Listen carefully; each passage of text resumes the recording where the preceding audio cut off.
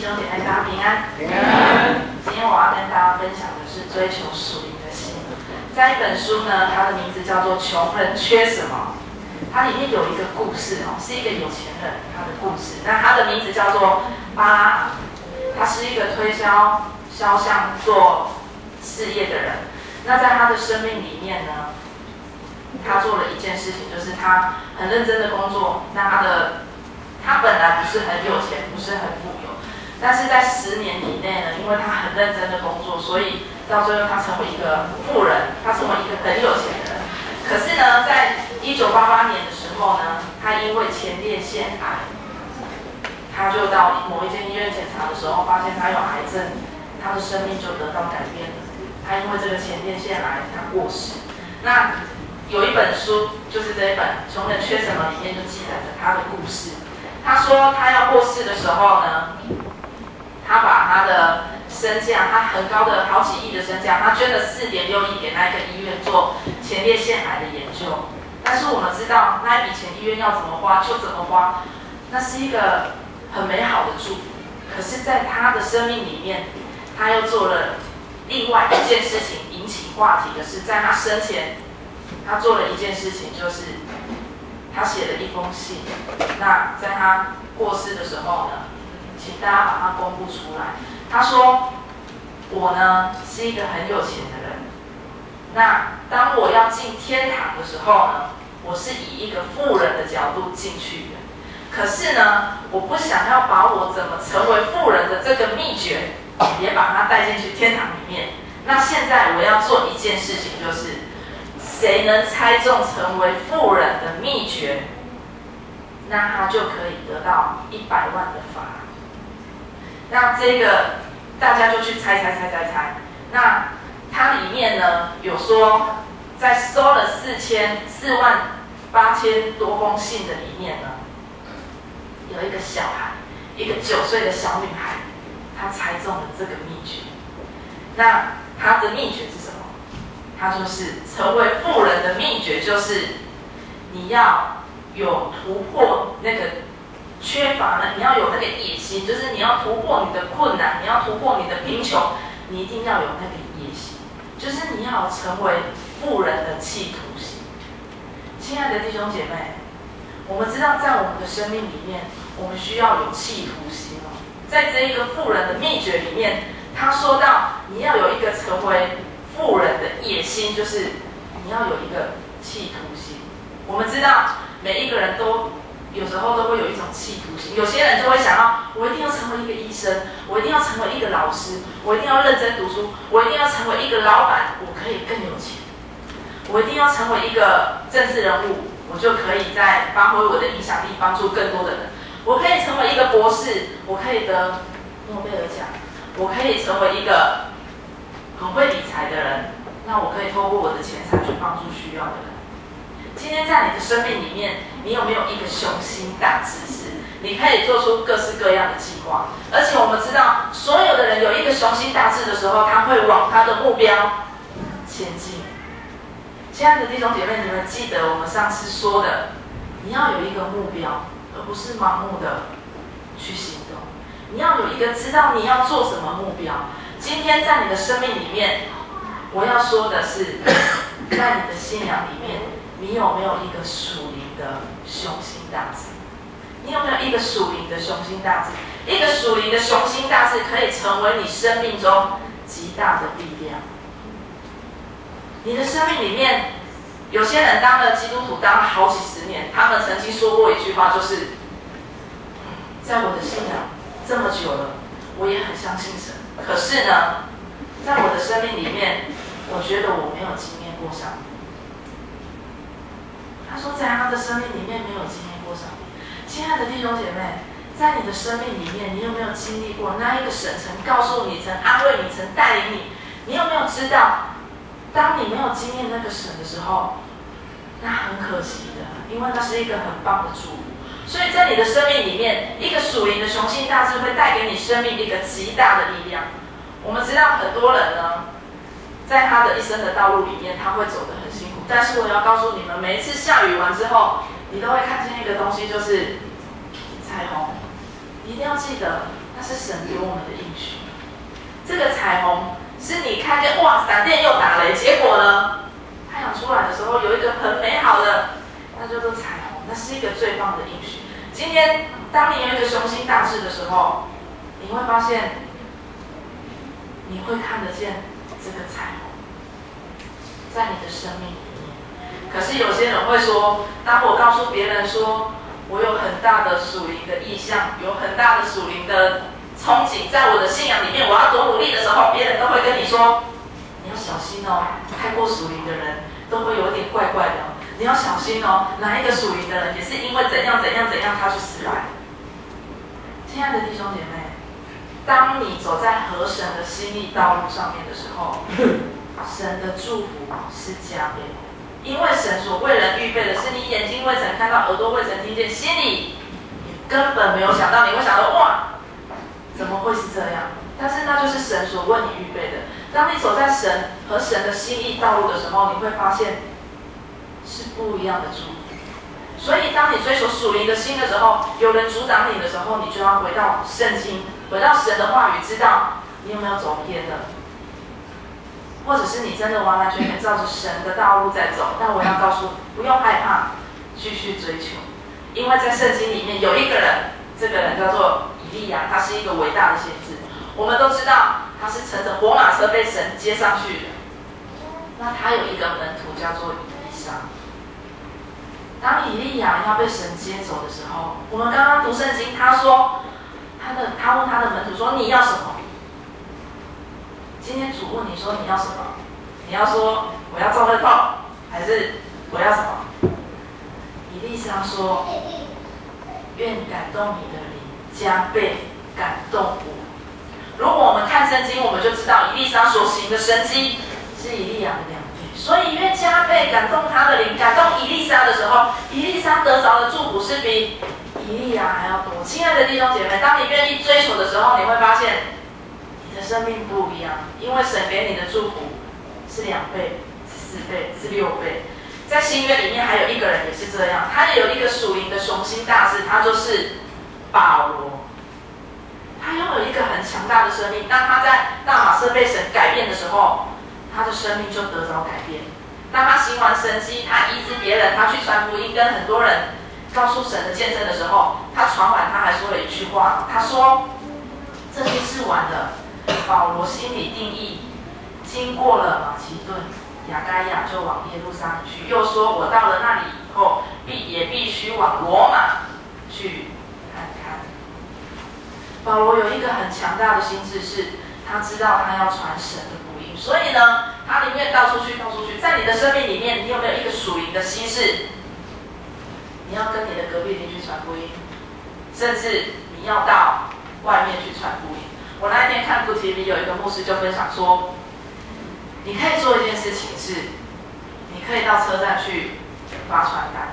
如果你觉得你真的不太会跟别人讲话，你觉得你真的不太有办法说出什么神的话语，那你就去车站发传单。甚至有些人更厉害的是，他可以去到机场发传单。把神的福音带往世界各地，神的福音就借着你的那一个东西，带到世界的每一个角落。亲爱的弟兄姐妹，在你的生命里面，你也有一个雄心大志，是关于神所给你的这一个雄心大志。今天我们所读的第二处经文在新约，清心的人有福了，因为他们必得见神。这是八福里面的第六件福气。你想要得见神，你要怎么样？清晰，不是往外面的清新饮料来喝，是 你要有一个清洁的心。这个清就是一个很简单，你照字里就很明白，是一个干净的，是一个纯洁的。那在这里的心是什么意思？在这里的心呢，它代表是一个如同银。如同金，就是完全没有任何杂质的。等一下，我要给大家看一个影片哦，帮我播这个影片呢。呃，在这个影片里面，我要请大家看里面穿白色衣服的女生，她们总共传球几次？啊，她们总共传球几次？请大家帮我数一下。啊，帮我，关一下电灯，这样你们会看得比较清楚。好，白色的女生，她们总共传球几次？呃，我们再从头，再从头，因为可能刚刚没有太快。好，大家专注哦，哈。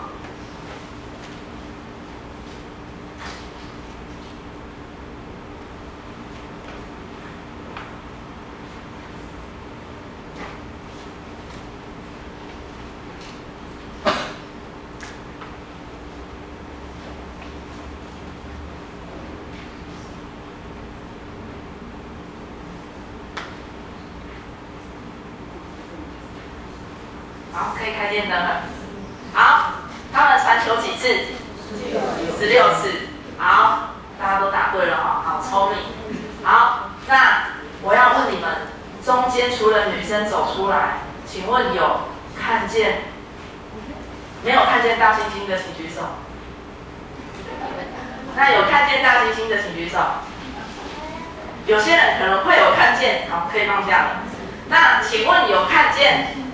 我要请问后面的颜色有变吗？布幕有还是没有？有。有，有人说有，有人说没有。啊，我要告诉你们，当你们在看着球的时候呢，出现了一只大猩猩。我不知道你们有没有看见哦？我们可以再看一次吗？视频。在。他们在传球的时候，当你专注的在数他们传球的时候，我们这次健身只要放前面就好了。你会看见，你注意看，你真是注意看，他有什么变化，在他的腹部里面有什么变化。这是一个很特别的实验。好，他们要开始传球了。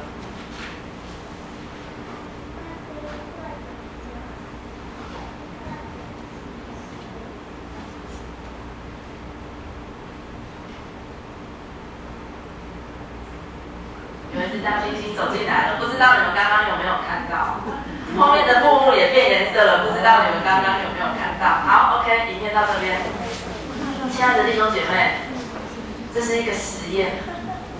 你觉得你眼睛看到，你一定有看到全部吗？哦，你觉得你认真在专注一件事情的时候，你有看到全部吗？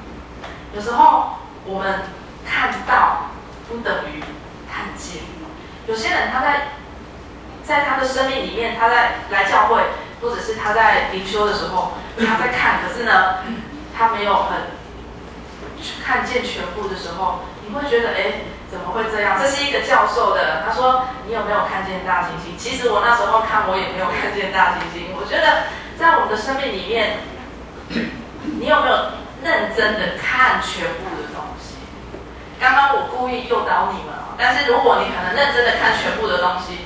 就会看见那个大猩猩。在我们的生命里面，你有没有看见全部的东西？其实你在你的生命里面，你有没有经验神？你一定有，因为耶稣会告诉你，耶稣在麻雀的身上看见神对一只麻雀的保守。我相信你走出去一定会看到飞鸟，你一定会看到百合花。神在百合花里面看到上帝的眷顾，在下雨里面看见上帝的恩典。所以呢，保罗也曾经说，在万物里面就可以知道神的神性是什么。诗篇里面有一句我们都会念哦：“诸天述说神的荣耀，传唱穹苍他的传唱穹穹养传扬他的手段。”在生命里面，你的生命里面，你有没有看见神的作为？有人可以在创造里面看到神，有人可以在困苦里面，那个人就是约瑟，他可以看到神。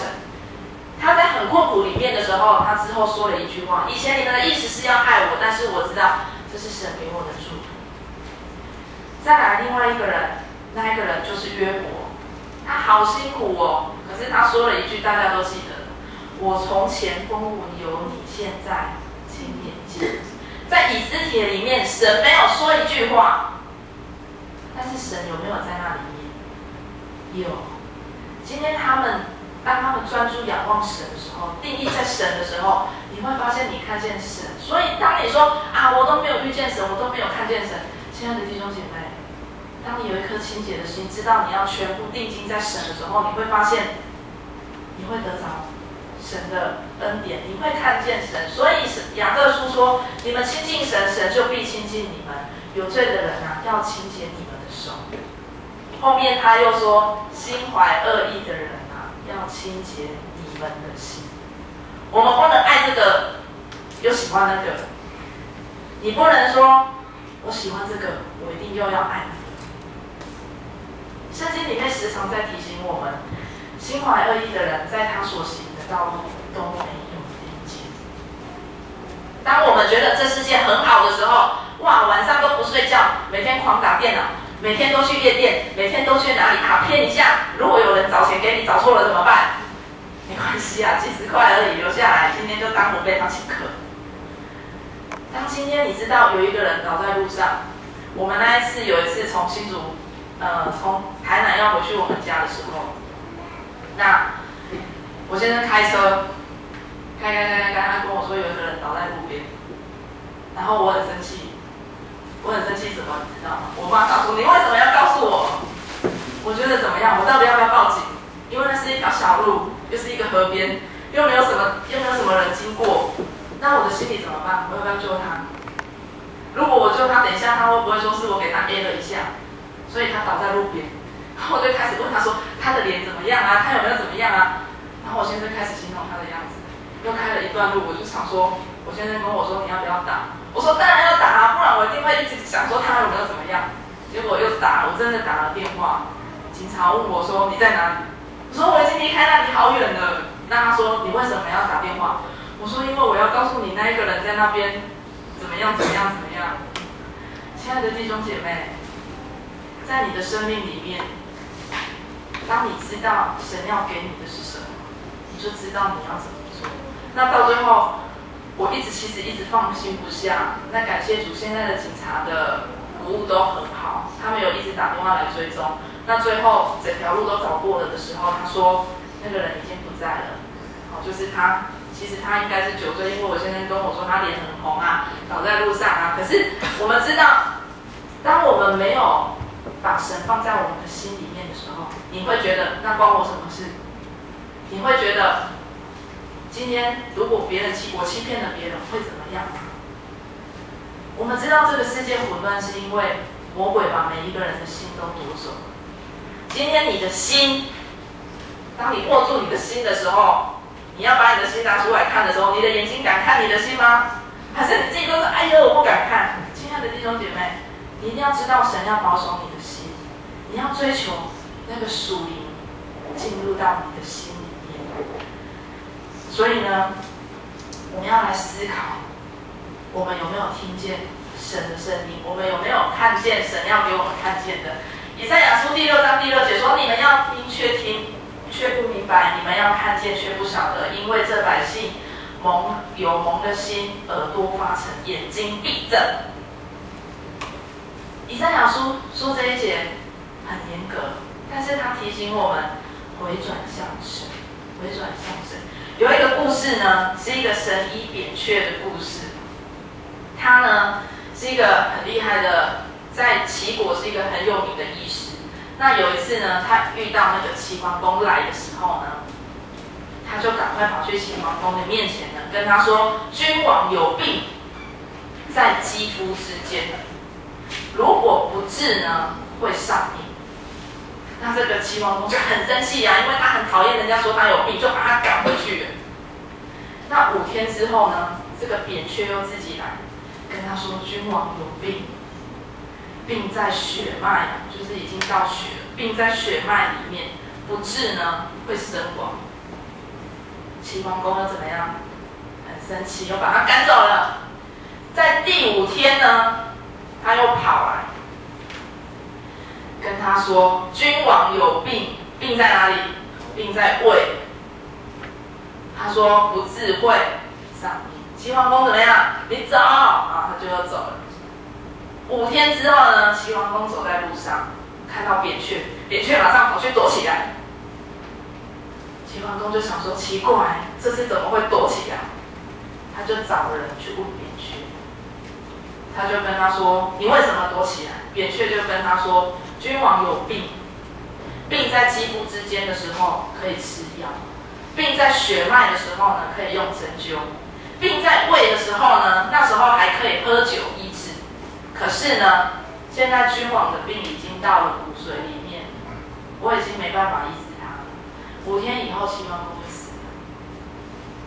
我们的生命也是一样，我们都不喜欢别人说我们有病。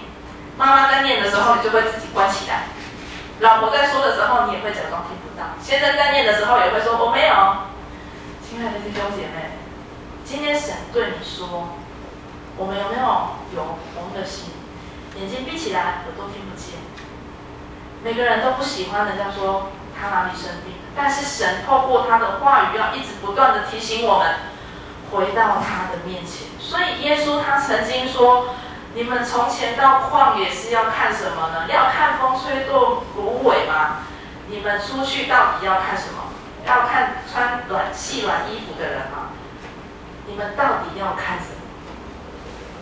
神给我们一个很大的启示，在你的信仰里面，你到底要得到什么？在你的信仰里面，你的家到底要得到什么？盼望我们每一个人都能在我们的信仰里面得到很大的祝福，因为神给我们的爱。一个非常非常大的一个恩典，他拣选我们每一个人。最后，我跟大家分享一个新闻哦，这个新闻是在二零零四年发生的哦。一个武装分子呢，他们闯入一个俄罗斯的一个中学。那这个中学呢，他们刚举行完新学期的那个典礼，所以蛮多人的。那他们也有附设小学，所以他们所有的人一起聚集的时候，那是一个很盛大的场面。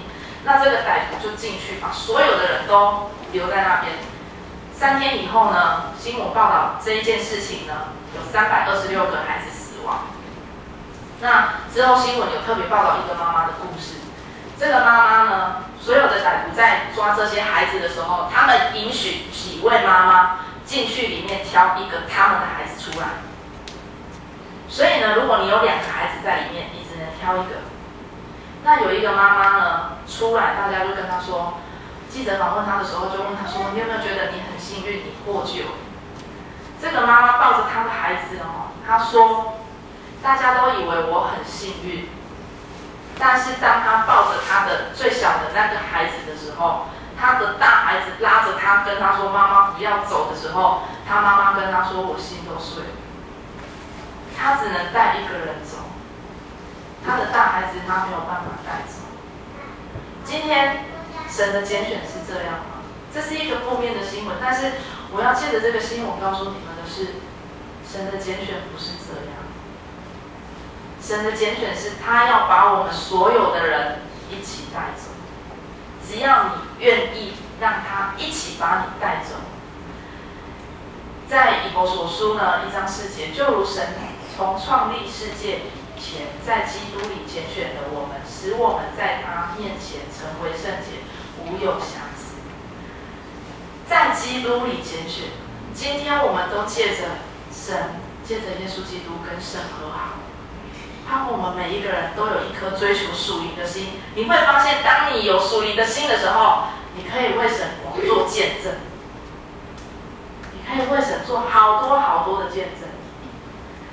神在圣经里面已经立下很多的见证人，他们拥有一个属灵的雄心大志。那个人就是亚伯拉罕，他相信他的子孙一定会如同海边的沙一样。再来那个人是谁？那一个人就是约瑟。我们刚刚说过了，他知道神给他的要做什么。再来是谁？摩西，他知道他要带领整个民族。再来呢？大卫，他知道靠着神，他能够打败歌利亚。还有一个人是谁？还有一个人就是但以理，他相信所有的人会回归到以色列。再来，施洗约翰知道他能为为神预备道路。保罗相信他一定可以把福音传扬到世界各地。所以，亲爱的，你今天有一个雄心大志的时候，你可以为神做更多的事情。我们一起要来唱这首回应诗《宝贵时价》。在这一首诗歌里面呢，我相信今天会帮助。在这一首诗歌里面呢，他说：“主耶稣，我感谢你，你的身体为我而生，带我出黑暗，进入光明国度，使我再次能看见。过去怎么样？你觉得你不好，我要借着主耶稣的宝血，使你得到洁净。我知道在我们的心里面可能有会很多无法不可的事情，但是你一定要知道，借着主耶稣，所有的一切都能得胜。我们一起来唱这首歌，宝贵时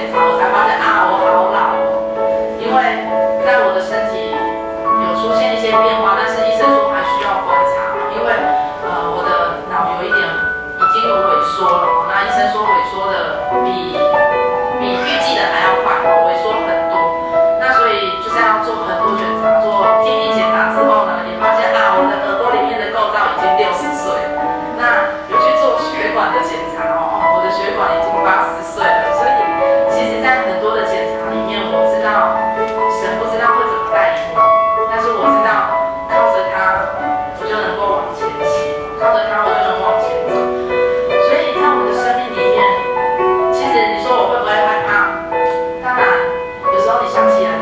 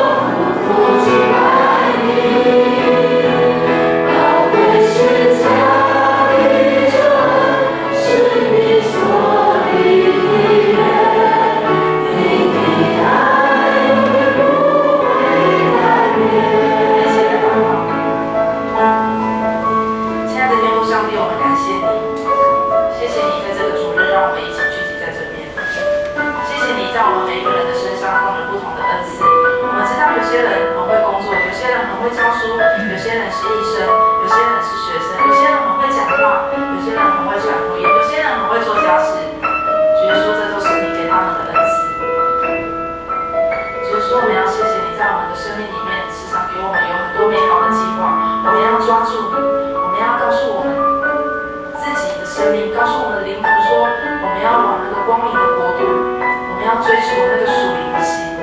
所以说，我们要再次把自己交托在你的生命当中，交托在你的手中，愿你进入到我们的生命。